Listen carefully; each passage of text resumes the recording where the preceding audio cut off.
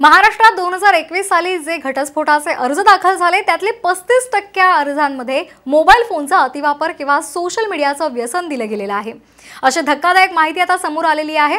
विधी सेवा प्राधिकरणाच्या एका अहवालातून ही बाब समोर आली आहे. गेल्या वर्षभरामध्ये पंचवीस हजाराहून अधिक घटस्फोट घेण्यासाठी अर्ज दाखल झालेले आहेत आणि यामध्ये मुंबईतून सात हजार तर पुण्यामधून बाज बारा हजार अर्जांचा समावेश आहे.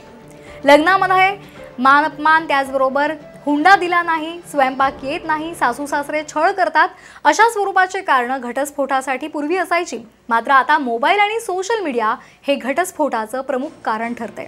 यामुळे लग्न संस्थेला तंत्रज्ञान मारक ठरतंय हे अधोरेखित झालंय.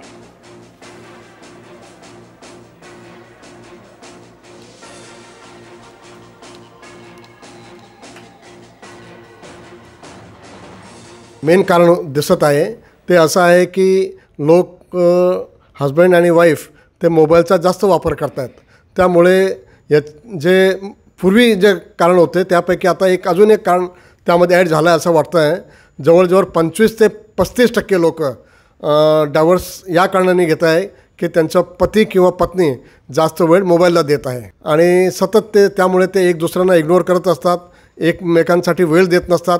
त्यामुळे त्यांचा आपसात जे ॲफेक्शन पाहिजे ते ॲफेक्शनमध्ये कमी होत चालली आहे. त्यामुळे पण हा एक डायव्हर्सचा मेन ग्राउंड झालेला आहे आता.